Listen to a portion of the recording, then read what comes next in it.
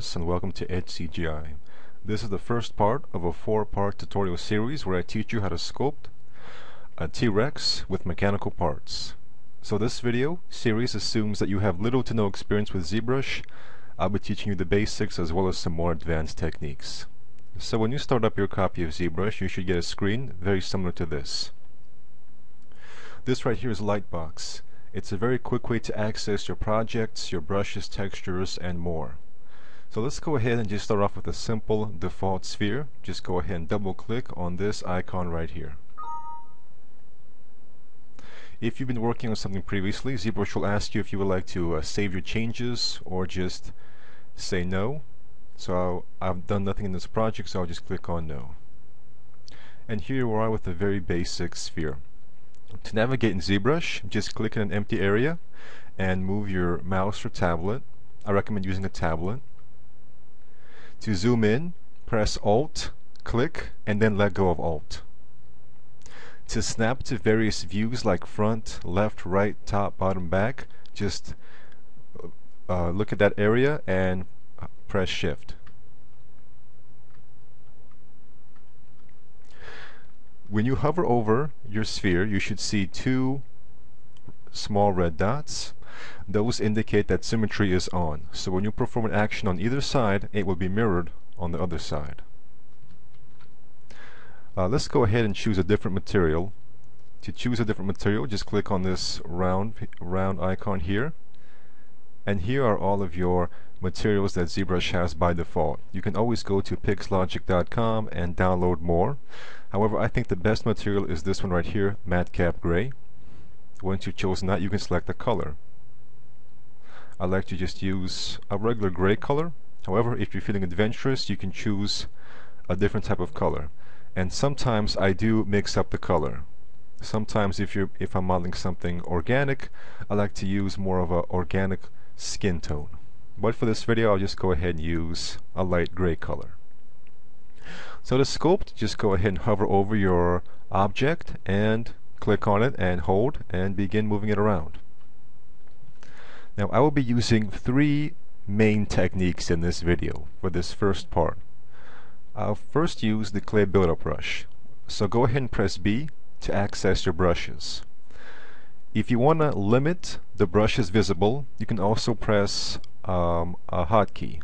So if I want to see only the brushes with C in it, I'll go ahead and press C. And now only the brushes with that start with C are visible. So go ahead and find the brush called Clay Buildup and click on it. And now when you click on your object, you will be using the Clay Buildup brush. So over here you have your alphas. Alphas are like small textures that can change the way your brush works. When I use clay buildup, I mainly use two different alphas, or two different settings here. The default is the square alpha. This is great for slowly and gradually building up detail, especially for building up muscle. I like to build up these muscle fibers like so. So it's very great for gradually building up detail. You can also turn the alpha off, and this will give you a much softer effect. So I like to use this as well. The second tool I will be using, I'll go ahead and press B, is the move brush. So just go ahead and press M and find where it says move. This is a great brush for quickly moving around your geometry. Okay, the third technique I will be using is available right here. On the right you have your toolbar, your tool menu. So just go ahead and click on geometry and go ahead and click on Dynamesh.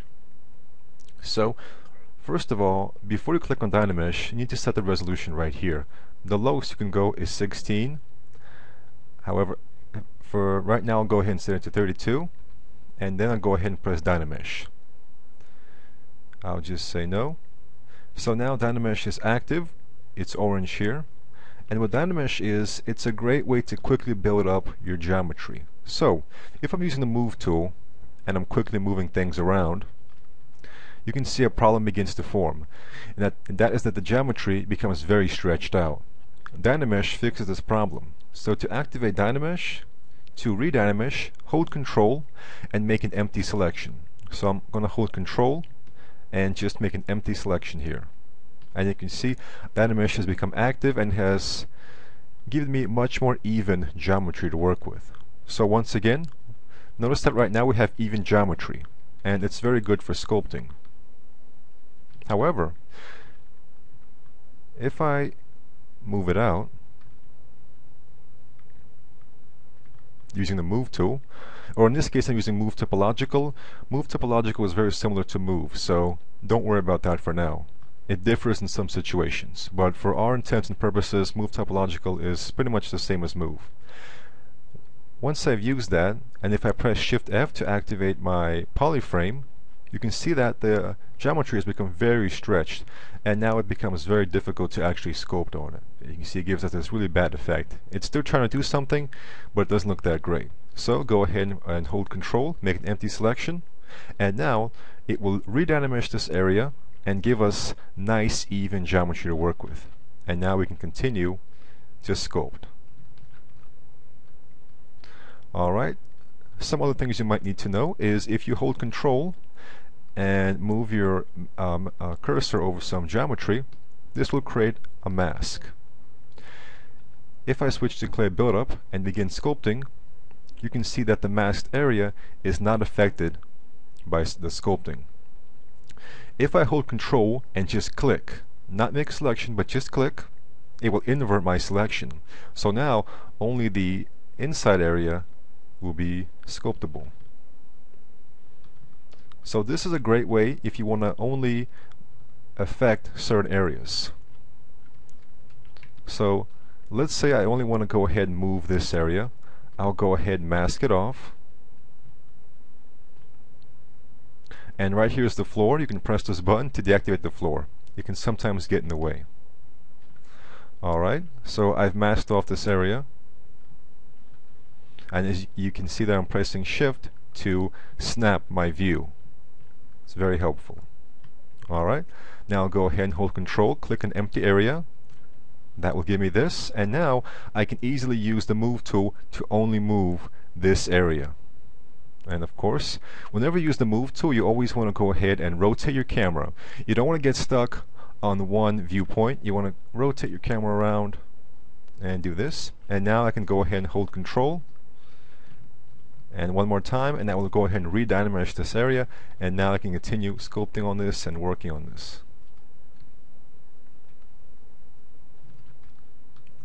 alright that's it for the introduction. Let's go ahead and get to the meat of the video. Alright we're gonna go ahead and quickly set up some a reference image. So go on the on the top menus go under draw then find where it says left right click on the first map click on import and now you can navigate to where you keep your reference images. I go to the ZBrush main directory. Under Z projects I made a folder called T-Rex and there I have a few reference images. And as you can see that shows up. It uh, shows up on the grid. On that button on the right there are three small little icons inside of the main icon. There's X, Y and Z. I've turned on the Y grid. So that was the green grid that you saw at the bottom if you're used to working with other 3D programs, you may know that X is left and right, Y is front and back, and Z is up and down. In ZBrush it's actually a little bit different. The Y is actually up and down. So if you're working, if you're used to working with 3ds Max like I am, then the Z-axis is basically the Y-axis in ZBrush. So here I'm taking that sphere, and because I've activated the reference images, the sphere has actually become transparent. And if you turn off the floor, the grid, then it will uh, stop being transparent. So right now I'm taking that image, that sphere and scaling it down using the transpose tools. Simply press uh, W, E, and R to or R to activate those three tools. W for move, E for scale, and R for rotate. So basically just press E, uh, draw the transpose line over the sphere, and then click on one of the red circles in the middle to scale it down. Here I'm pressing Shift F to activate polyframe mode just to see what my mesh looks like. So here I'm just using the move tool and moving that sphere parts of the sphere along the reference image to create the actual shape of the Tyrannosaurus Rex. and every time it gets too stretched I just go ahead and hold control and make it empty selection to redynamesh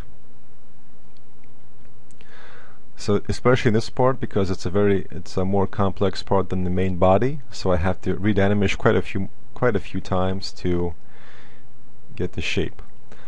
At this point the resolution that you're using might be too small so you might want to increase it. I started out with 16 resolution for the Dynamesh but you may want to go ahead and increase it to 32 I usually stick with the power of 2 so I go from 16 32 64 128 and so on. Here what I'm doing is I'm making uh, holding control making the selection and then using the move tool to drag it out and then redynameshing and so here I'm using this to make the T-Rex's arms so Dynamesh along with the move tool it's a, it's a very great way to quickly build up your forms and create the all the limbs and shapes of your creature. Now a lot of people might say that this is easier to do with Z-spheres and they may be right however I think it's a it's a great idea to have an understanding of the importance of Dynamesh because it, it's a new tool. Z-spheres have been around since the pretty much the beginning of ZBrush, but Dynamesh is a lot more recent, so I think I, I've decided to go with Dynamesh for this video. And and a great thing about Dynamesh is it gives you more of the feeling that you're working with you know organic clay. So you're not working with uh, if you're working with uh, z-spheres, you're more you're more working with you're more working with parameters. And uh, here you're working with actual more like you're working with actual clay and or organic sculpting material. Here I'm doing the same thing for the leg holding control making a selection inverting it using the clay buildup tool and then finally using the move tool So I do take a break every once in a while to kind of rotate around the model, making sure everything is correct you never want to get stuck on this viewport. Here I'm using the inflate tool.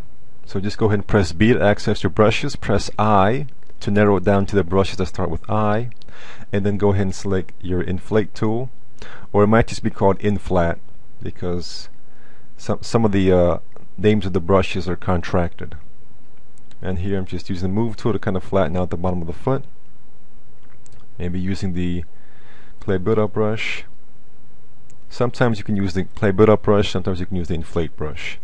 And here what I'm doing is kind of building up his legs. You can see the T-Rex still looks kind of uh, angular on his main body, on the neck and on the head. We'll fix that later, so don't worry about that. Here I am building up some mass on his tail. One thing that if if you've been watching a lot of uh, you know uh, ZBrush videos and if you if you if you've been seeing a lot of sculptures, you may have been impressed by all the detail and you may be anxious to start working on that detail. But what I recommend to you is don't get anxious. Uh, don't skip the the foundation stages. In other words, some people are so eager to start working on the details and the wrinkles and all the impressive stuff that they miss that they miss the fact that it's a process.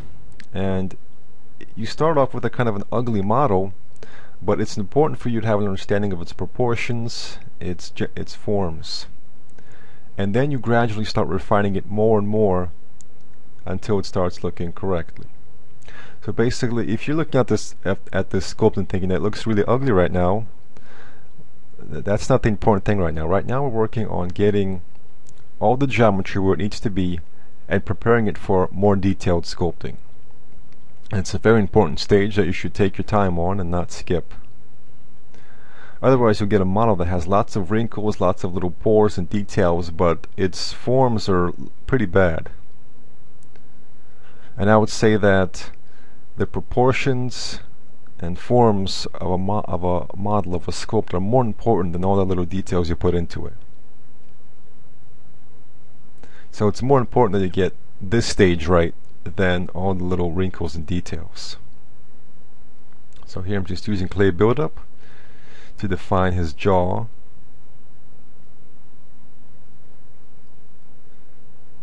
And another brush I use is a standard brush, which is the, the most basic brush the brush has to offer.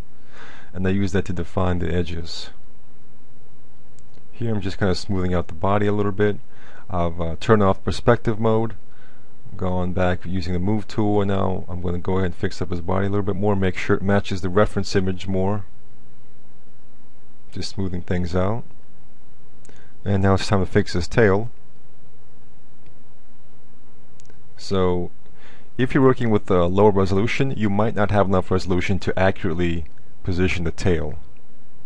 So this is the point where you might want to increase the resolution of the Dynamesh tool from 1632, from 32 to 64. Or you don't have to go exactly power of 2. You can go from 32 to 50, for example.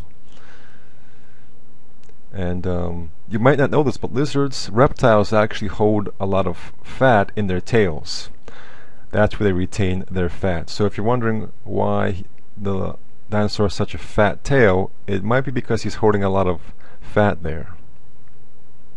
In addition to balancing the body and the other reasons that they have tails. Sometimes as you're sculpting, you might get to certain problem areas, just areas that you can't quite get that kind of frustrate you. And I've sculpted several T-Rexes now, and the, the area that always frustrates me is the arms because they're because of their proportions and the way they're positioned. It's always a little bit of a hassle for me to sculpt their arms. So You'll notice me in this in this video, I'm kind of ignoring the arms until the last minute. They're, they're not particularly difficult, but just their positioning and the way the fingers are, and uh, it's actually quite thin. At, at this stage, I would say that the arms are still a little bit too thick. So here I am adjusting the jaw some more, making sure it matches the reference image. There will be a point when I stop using the reference image, but for now I'm still using it to match his, his, his uh, forms and proportions. And just going back with the clay buildup brush and smoothing things out, further defining the jaw.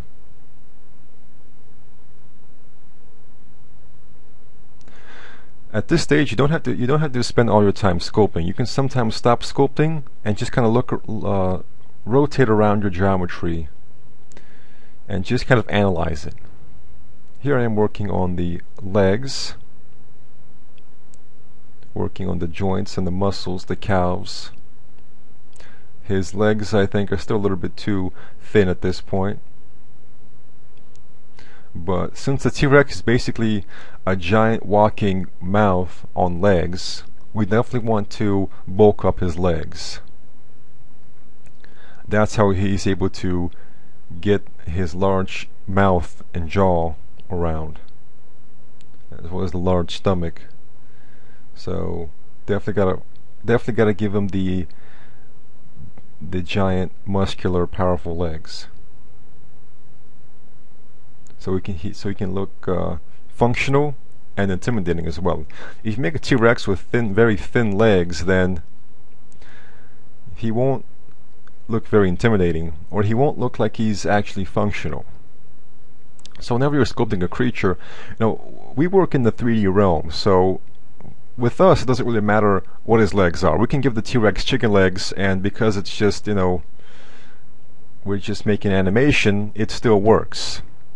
In other words, our creatures don't have to be physically or practically created. They can still work, but that's why we have to spend more time actually creating the illusion of functionality. Whenever we work, we actually we don't we don't work with actual um, actual systems. We work with the illusion.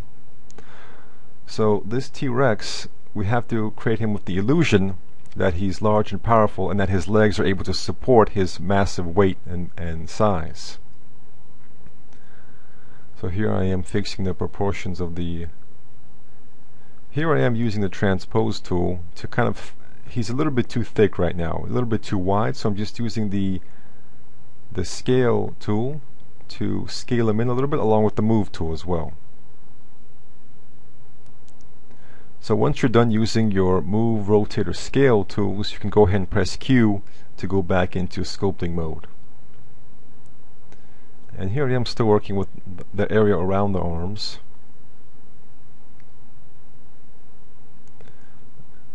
At this point I'm not very satisfied with the arms. Still a lot of work to go on them.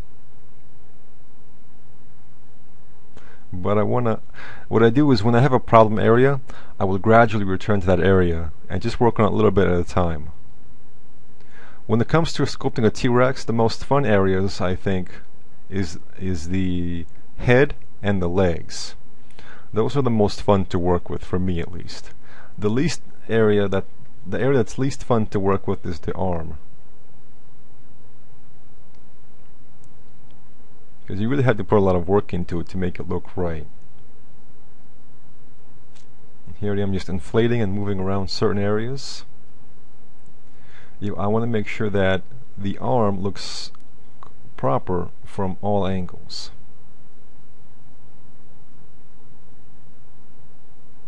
So there I'm using my favorite technique again.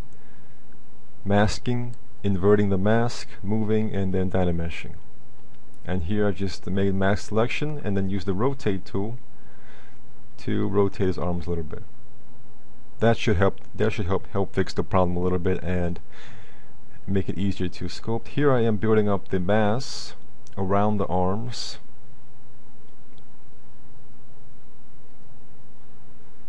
That will also help to visualize how the arms will be sculpted. Here I am building up his thigh muscles leg muscles.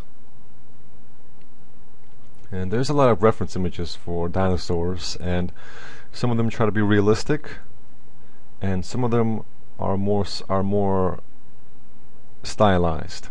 So with some illustrations they make the dinosaurs look a lot more intimidating than they probably would look than they probably looked in real life. And that's of course because they're taking some artistic liberties with the creatures and they want the creatures to be more intimidating a lot of dinosaurs were actually more bird-like. If you look at the Velociraptor, for example, the, the real Velociraptor, as scientists have uh, determined, looked a lot more like a giant turkey than a giant lizard like what you would see in Jurassic Park and other movies and games. However, uh, you know, artists make the decision and directors that a giant turkey is not as intimidating, is not as scary as a giant lizard.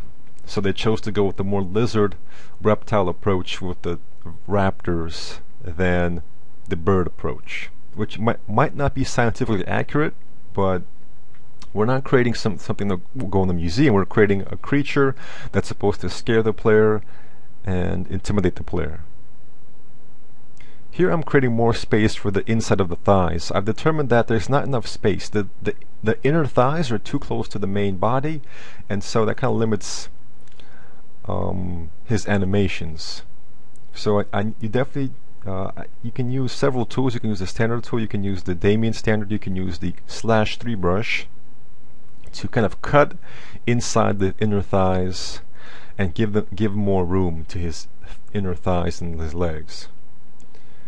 Here I'm just using the standard brush to further define the jaw. It doesn't look quite right yet, but I'm I'm working on it. It's a like I said, it's a gradual process. You're not going to get impressive results right off the bat. You need to spend some time on it, just slowly refining things and analyzing your model from all angles. So if you look at your geometry or if you look at the, at the scope right now, you may think it looks pretty bad, but the point is we're getting all the geometry in the right places and it will look good eventually. It's a process, it's a gradual process of refining and gradually adding shapes and forms until it looks the way we want it to look. So don't be disappointed. A lot of people get um, disappointed and frustrated when their geometry doesn't look as good as a professional's. But they just need to realize that it will look ugly at, the, ugly at the beginning, but if you spend time working on it and refining it, it will eventually start looking good. It will eventually start looking presentable. So this is the first video. We're getting all the geometry in the places it needs to be which will make our, our it and adding details a lot easier. Sometimes though you can see I added some you know some wrinkles on the bottom of his neck and that's just to visualize that everything's where it needs to be. Sometimes you can add a wrinkle or some you know some small lines here and there just to kind of help you position its its general proportions. So here I am getting a little bit more detailed, but that's just to help me position his jaw. Here I'm using the Damien standard. The Damon Standard and the Standard Brush are very good for defining the edges of something. So to put it in, in human terms, if I was sculpting a face, I would use the Damon Standard and Standard brushes to define, you know, the brows, the, uh, the uh, cheek muscles, the jaws. I would define those areas first before I start working on any wrinkles around the mouth or anything like that. Here I'm spending some more time with the arms. I'm starting to like them a lot more. Here I press Control Shift and select this area to isolate it, to hide the other geometry and just to, just to work with the arms alone. This can be good for to increase performance if you have very a lot of uh, polygons and, and vertices. It can slow down your performance. So now just go under Movie and Turntable to render a quick turntable movie of your sculpt. Thank you for watching Edge CGI. Don't forget to subscribe to stay up to date with future videos and stay tuned for the second part of this series where I will sculpt a much more detailed and professional looking T-Rex.